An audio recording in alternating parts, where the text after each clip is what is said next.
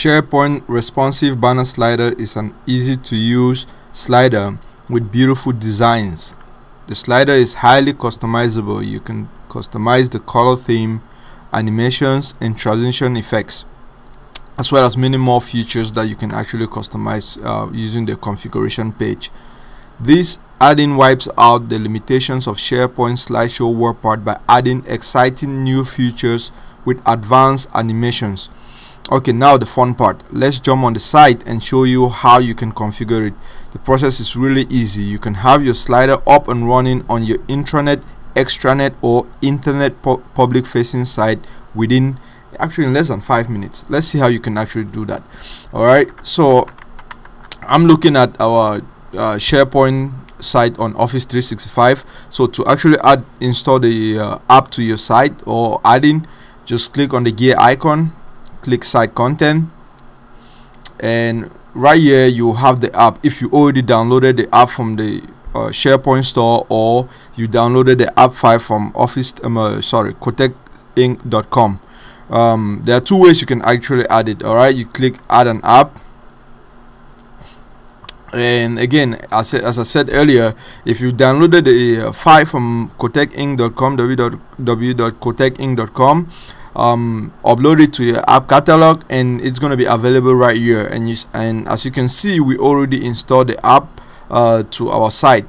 The second way is going into the SharePoint store. When you go into SharePoint store just click the search uh, uh, on the search button um, sorry on the search box right there. And search for responsive banner slider and it's gonna um, come up and just install it. But we already installed the app on our site so all we're gonna do is configure it all right so to configure it just click on the, the app icon. And it's going to bring you into the administration page for this particular app. Let's just look at uh, have a quick overview of the administration page. You have the home page you have uh, create new slide that actually shows you um, walk you through the whole process. Pretty easy. You enter the title the, the URL and indicate if you want that particular slide to open on the in the same window or on a new tab uh, as well as the button text the description and the order of the slide. If you want it to be the first slide or the fifth slide or the third slide no matter what you want click uh, um, select your file and just click um, uh, create new slide you can also view your current slides. Uh, as you can see we already have a couple of slides. If you want to edit it you just hover over the image and the edit button shows up and you just click edit. Takes you to the edit page. You can actually edit everything. All right? Let's cancel that. Go back and um, you, you have the settings page. The settings right here you can actually configure the slider interval and everything is in seconds uh, you can configure the transition effect you can configure the design the title the description the caption as well as the animation. You can also choose a color theme for your slider. So let's create a couple of slides okay? So I'm, i have some predefined text by Google Chrome. I'm just gonna uh, select them and uh, for this particular slide I want this to open do you want it to open in a new tab? Yeah let's just say, say yes. And uh, the text for this button is going to be uh, shop now. Let's go to offer commerce and just grab some text from the page.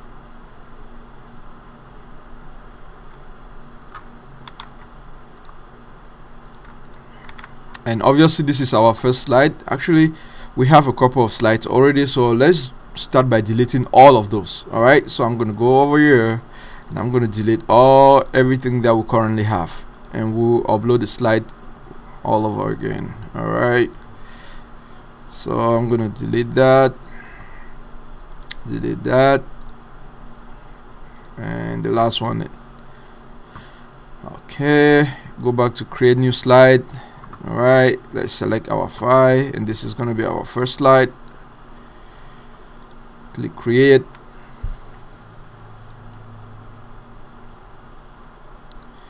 And there you have it. We have our first slide right there. Okay let's create a couple more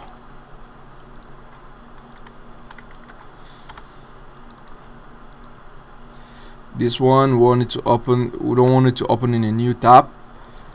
And the text for this one is just going to be see futures. Uh, let's put futures.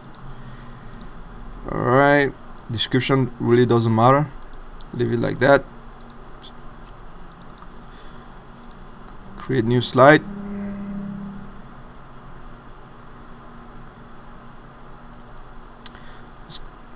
do the same thing. This one is gonna be slightly different.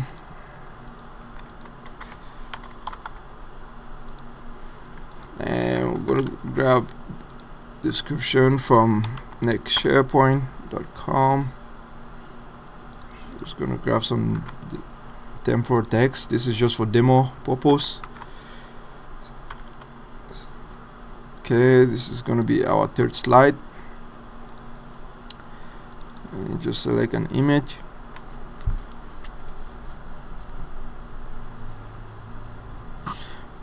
Do the same thing for the fourth one.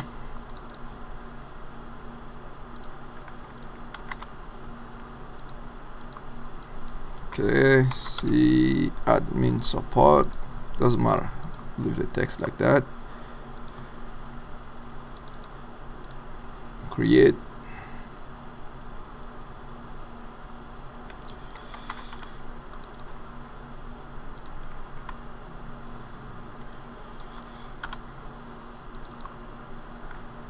Mm, this is our store now.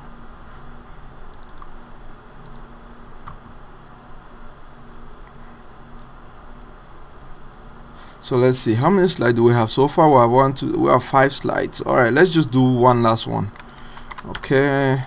Just one last quick slide. And the button for this one is going to be enter now. And this is a 6 one.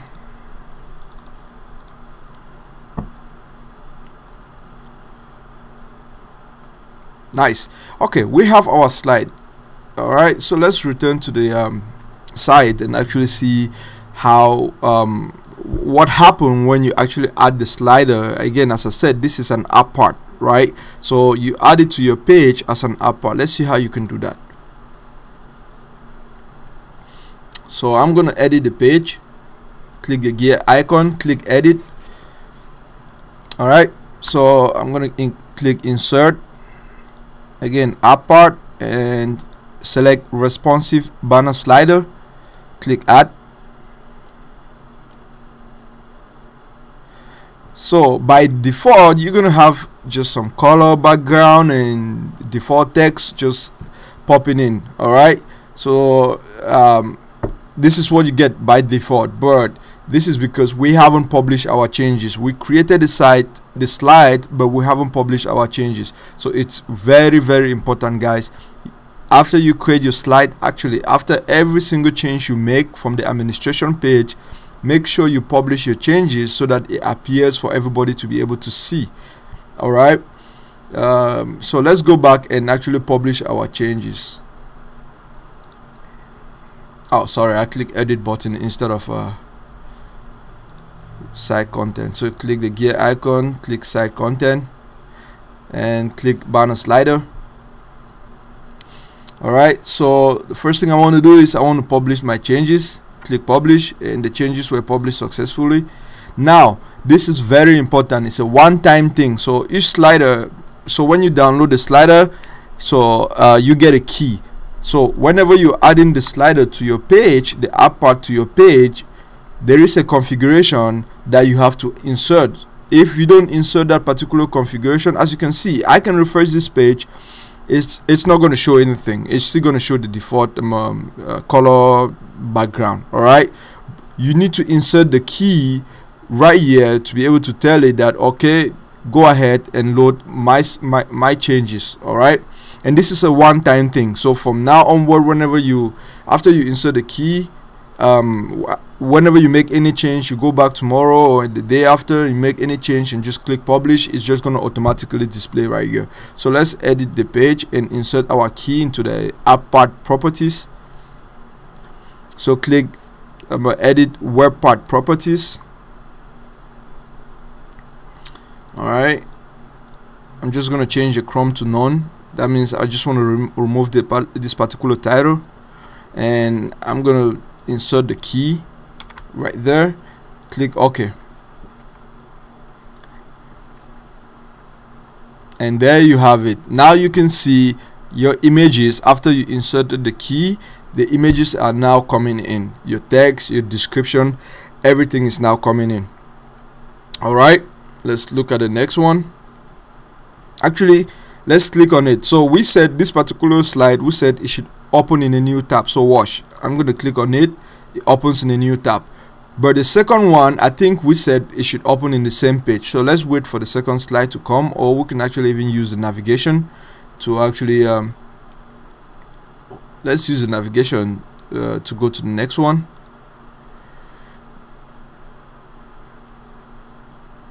Alright so this one is supposed to open in the same window. Alright as you can see it actually opens in the same window instead of opening in a new tab. So let's click the back button to go back.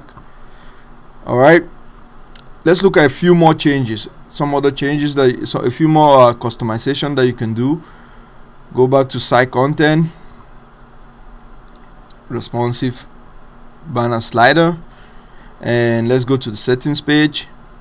And I want to configure the um, the slider timing so I want it to uh, let's just say want it to run every three let's say five seconds alright? Publish changes. And I'm gonna open it in a new tab or actually let me open in IE so that you can actually see that this particular um, I'm not I'm actually not logging but this particular slider is available to anonymous user so you can actually see that for yourself. So let me refresh the page in IE and there you have it the slides coming in. And you uh, and again I am not logging in IE it's available to anonymous users. Um, so let's go ahead and publish um, the, uh, the, the slider interval. We've changed it to five seconds. Publish that and refresh the page. So now it's gonna come in a little faster alright so every five seconds there you go. You can see for yourself. Every five seconds it pops in. Alright let's uh, change the design.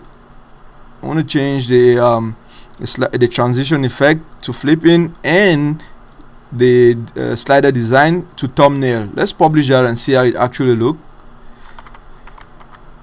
Alright let's refresh our page. And there you have it totally different design with thumbnails that you can actually um, navigate each particular slide right there. Alright. And again it behaves just like the other design. The button if you click on it if you configure it that it should open in the same tab it's going to open in the same tab another thing that we can also configure is um, the slider interval all right so let's look at that. Sorry um the the, uh, the slider order. So let's view our slides. So currently we have this guy as our first um, our, our first slide right? So we want the huge giant clock to be our first slide and we want this guy to be our third slide click save slide changes.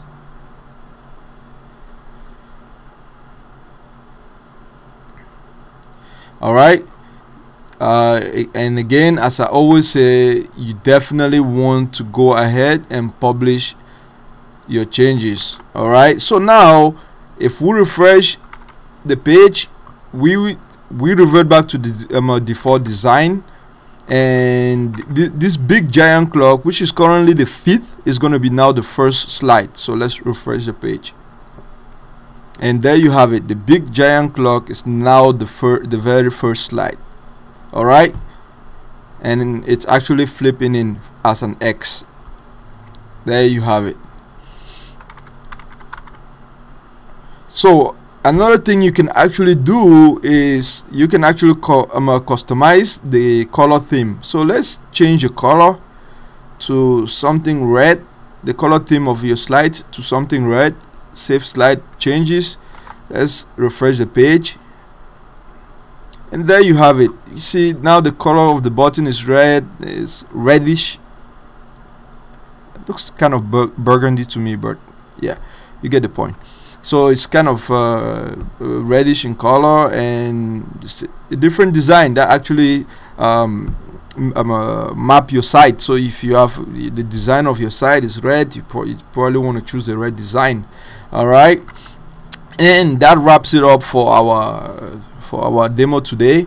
You can actually send us uh, an email for if you have any questions at info at cotekinc.com that's cotek c-o-t-e-k-i-n-c.com info at cotekinc.com if you have any uh, any information. If you if you have any issues just send us an email. We'll definitely jump in and help you uh, with your issues. Thank you so much